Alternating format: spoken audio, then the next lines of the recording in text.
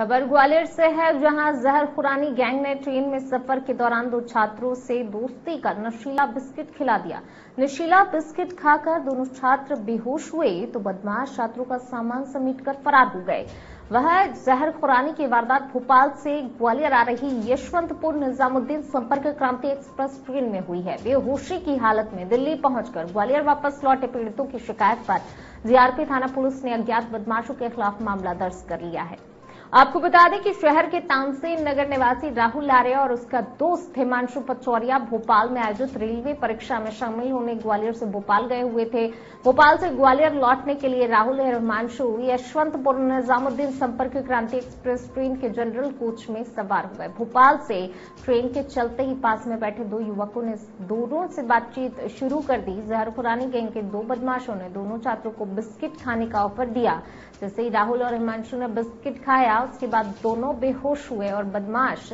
दोनों छात्रों का बैग छह हज़ार नगद, दो सोने की अंगूठी, मोबाइल और टैबलेट लेकर फरार हो गए। निजामुद्दीन स्टेशन पर ट्रेन से यात्रियों को उतरने के बाद ट्रेन के रैक को सफ़ाई के लिए रेल यार्ड ले जाया गया।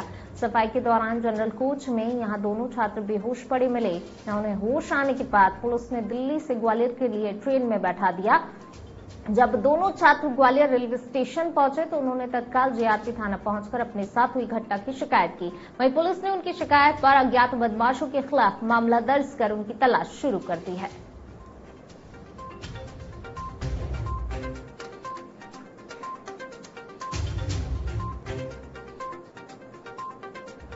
कर्नाटक संपर्क क्रांति के जनरल कोच में दो साथी ट्रेवल कर रहे थे, भोपाल से ग्वालियर के लिए। उनको जनरल बोगी में ही किसी ने बिस्किट ऑफ़र किया और बिस्किट जब उन्होंने आधा आधा ही खाया तो उनको बेहोशी की हालत हुई और उसके बाद उनके जो मोबाइल थे और कुछ सामान था वो ले करके आरोपी चले गए। जब उनकी नींद खुली दोनों फरियादी की तो उन्होंने देखा कि उनका सामान नहीं था तो शक हुआ कि किसी ने जो बिस्किट खिलाया था उससे ही उनको संभवतः नींद आई है। इसमें एफआईआर कायम की है जहर खुरानी की और अभी पूरा प्रयास किया जा रहा है कि अपराधियों को जल्द से जल्द पकड़ा जाए।